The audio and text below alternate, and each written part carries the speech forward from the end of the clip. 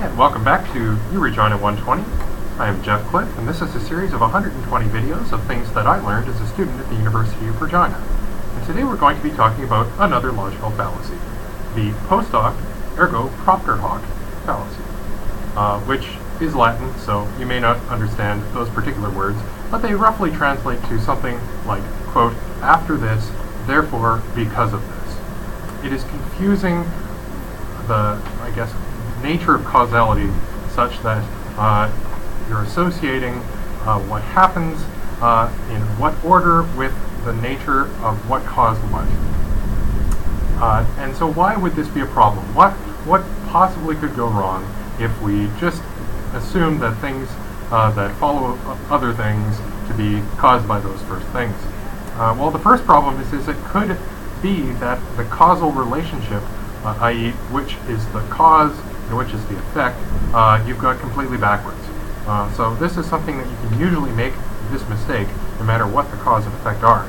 So for example, uh, when the rooster crows uh, immediately before sunrise, uh, therefore the rooster uh, causes the sun to rise, which is of course pure baloney because the sun will rise whether or not you shoot the rooster uh, and it has nothing to do whatsoever with whether or not the rooster crows, except insofar as the rooster probably crows because the sun rises.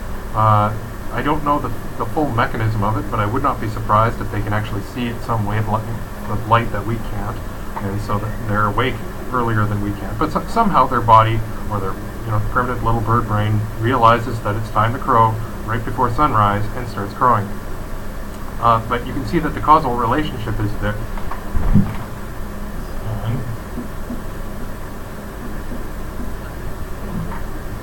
Causes the crow to call. It's not the other way around. Which is, of course, if you try to assume that it was the other way around, because it just so happens that the sun rose after, you would be mistaken. It could also be that it's just a coincidence that your effect is after your cause. So, for example, here in beautiful Thunder Bay, Ontario, Canada, uh, here in home base, uh, the kind of hackerspace here, we have a lot of computers. And we have people who have come to these computers who don't normally have a lot of experience using computers on their own. And as luck may have it, sometimes the programs they're using misbehave.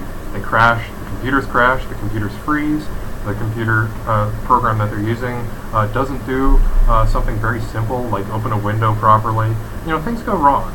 And so their default um, interpretation of what that means is that the computer doesn't like them, or that they did something wrong, or that they were bad and the computer is punishing them somehow.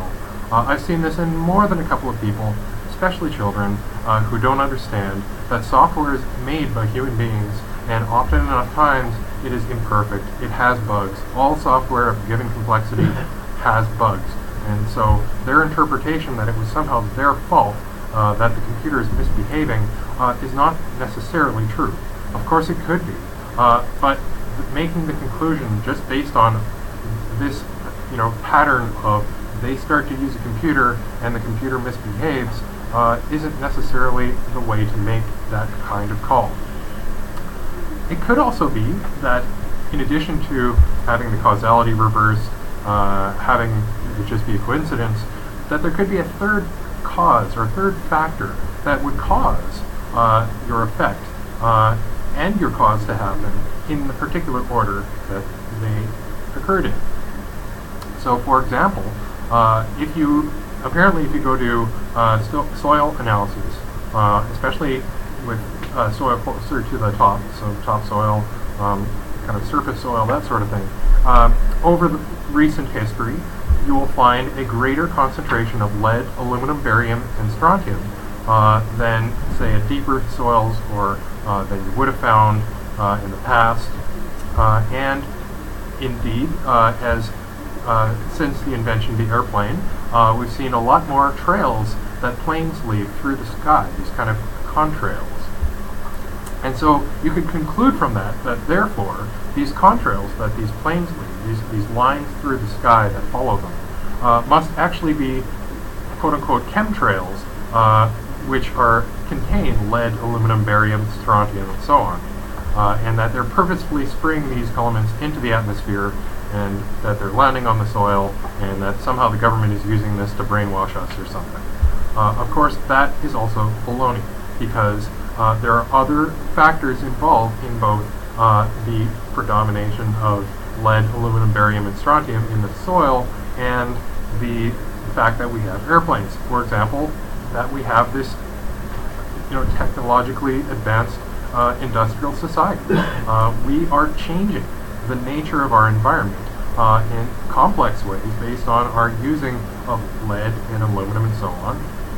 And there may be reasons why, uh, especially lead, uh, is present in uh, areas of our environment, including the soil, in ways that would not have been the case before we invented airplanes. But not because we invented airplanes, but because we're doing a lot of things with lead, aluminum, barium, and strontium.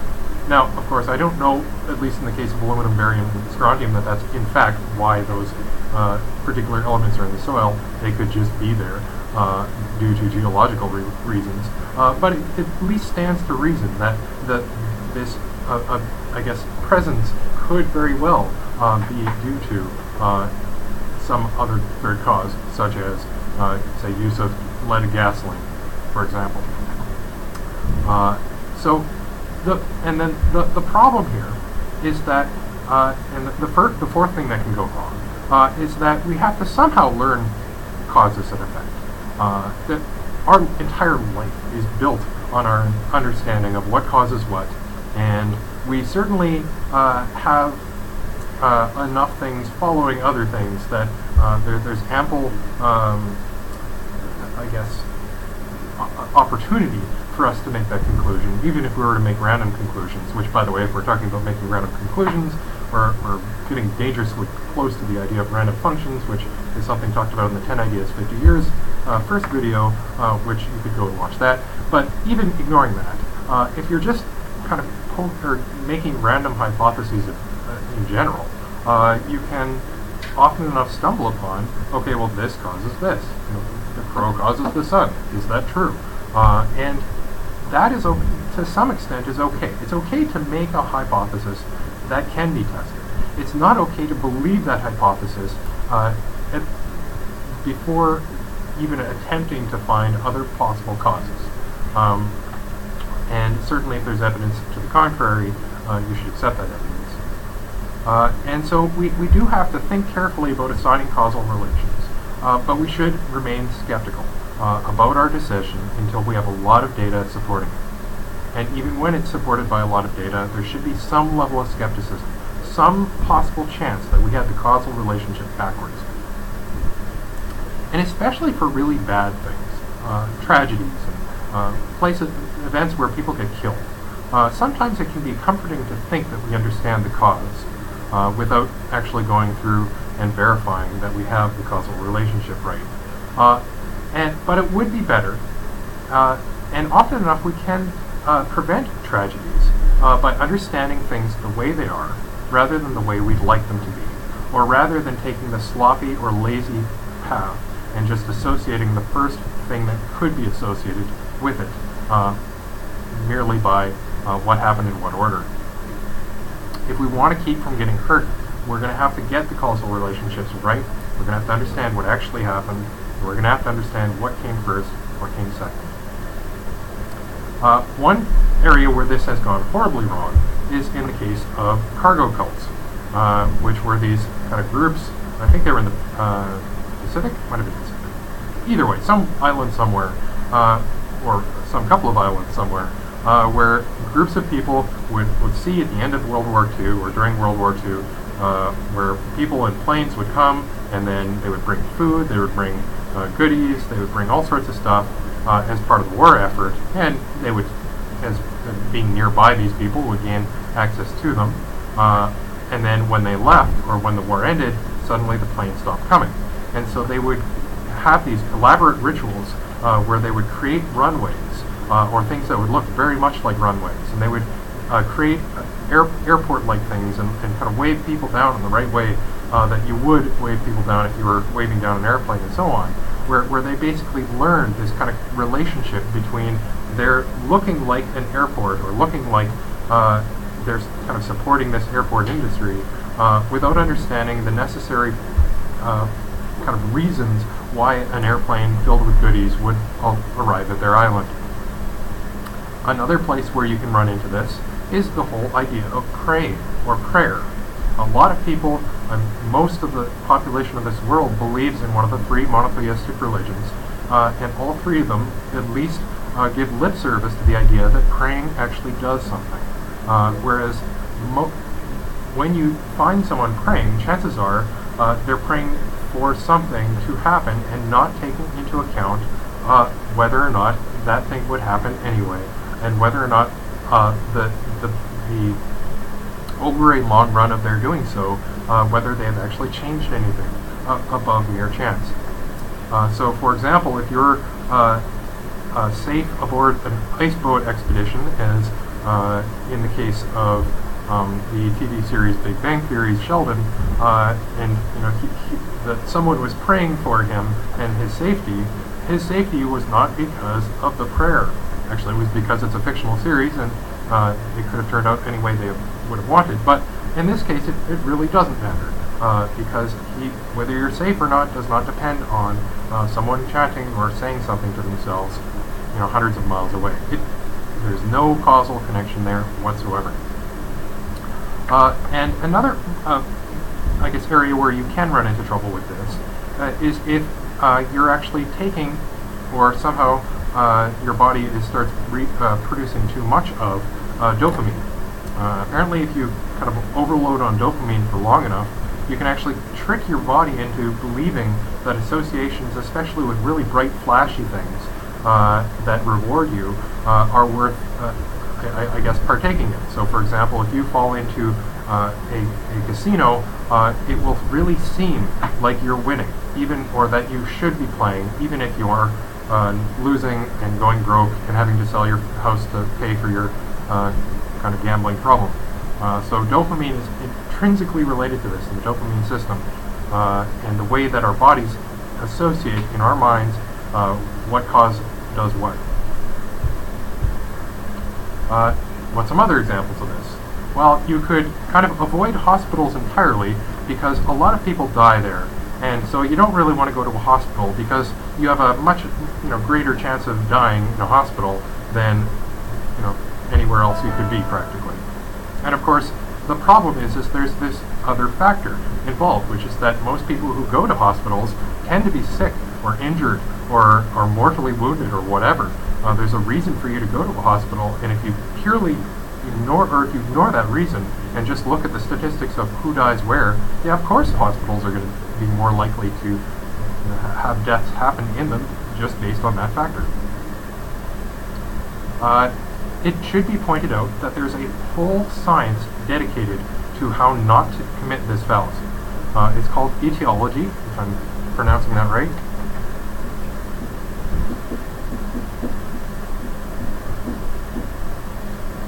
Something like that. Um, and it's a subset of medicine. Uh, you can uh, probably take entire classes in it. Um, and so you can learn how at least uh, for hundreds of years uh, people have been dealing with this problem of associating how or what causes what, which is something that happens all the damn time in the medical world. And it's a problem where there are life and death consequences for getting it right and wrong. So, kind of as mentioned with dopamine, there, there are reasons why our body, as thinking beings ourselves, uh, fails at this. And we associate sometimes uh, the wrong cause to the things that we feel or the things that are, are, are, cause our experiences. And this goes quite to a low level, as mentioned, with the dopamine. So you can actually train yourself uh, to be afraid and to train yourself to, to cry uh, and to experience bad emotions by the association with things that uh, were either scare you or cause you pain, etc. Although it's more, or it's easier to do with children um, unfortunately, this we know by experience and by experiment. Someone actually did go out and do the experiment where you, you know, made children afraid of things like teddy bears. Uh, but you can uh, basically associate uh, uh terrible things with whatever they, they perceive, the whole Pavlov's dog thing, right? Where you, you know, introduce food, the dog drools. You introduce food, or introduce food, introduce a bell, uh, the dog drools. Introduce food, introduce, introduce a bell, the dog drools. And you kind of condition them that way, and you slowly remove the food out of the situation, and the dog maintains the association with the bell. Same thing goes with uh, unpleasant, or at least very bad experiences uh, with human beings. And a lot of the discussion online uh, in regards to the concept of triggers uh, and PTSD and the, the kinds of uh, kind of prevention of people experiencing this kind of second uh, association with their terrible experiences in their life is related to this because their body has committed this fallacy. They're, they have learned in their own physical uh, substrate, substrate of how they actually encode memory uh, without even uh, being conscious of it, of associating their experience with some cause that is not actually uh, the thing that harmed them. And so it's worth considering at least that this isn't just something that you can do consciously, but it's something that your body will actually commit uh, just as part of its kind of uh, reflexes and, and keeping the world uh, away from hurting it. And so, in addition to that, there's also a part of your brain that creates, uh, by default, narratives and explanations for what you are doing. Uh, and usually it will create a narrative that paints you in a good light or paints you as the good guy in the situation. Uh, and this can, in, as well, uh, commit this fallacy a lot and can kind of say that you uh, were in control of a situation when in fact you were not.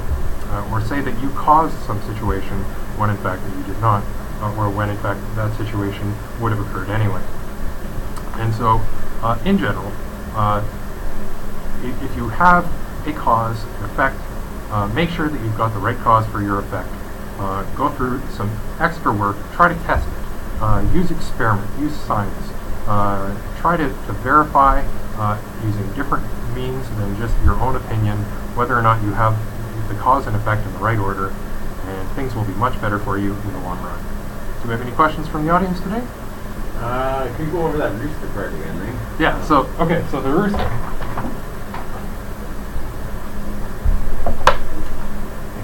because the sun came up for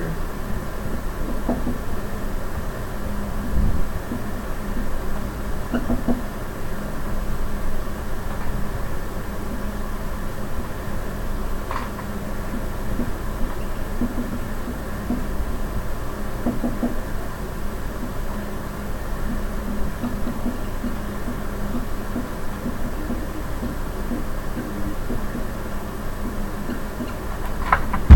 how this is, the, the, the hypothetical situation is the, the rooster crows first, and then the sun rises. And so the argument is that the rooster is in somehow controlling the sun and how it rises. It's causing the sun to rise. This bird, this little thing that weighs probably like one kilogram, is somehow making, you know, this, I don't know how heavy the sun is, maybe like a trillion kilograms or something. You know, it's moving it somehow. Of course, that's ridiculous, because birds cannot cause the sun to do anything. You throw a, a bird at the sun, it just fries. There, there's very, very little control. Uh, I guess there's like a little tiny bit of gravitational control or something, but you, you know, it's, it's just there is no control that birds have. Yet if you make this conclusion that you know the first thing that happens is the, the rooster crows and then the sun rises, you you know you could, if you didn't know about the situation, make this conclusion, but you'd be wrong to do so because you'd be committing the post hoc fallacy. You'd be saying oh. after this, therefore because of this. Um, now I get it. Which would be error. Make sense? Yeah.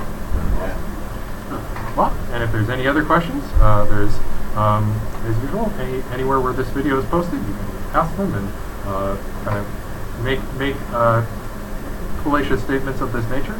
Uh, and uh, as usual, there should be a little Bitcoin donation address so that you can uh, send us money so we can buy more whiteboard markers very important. Um, and I guess we'll see you next video.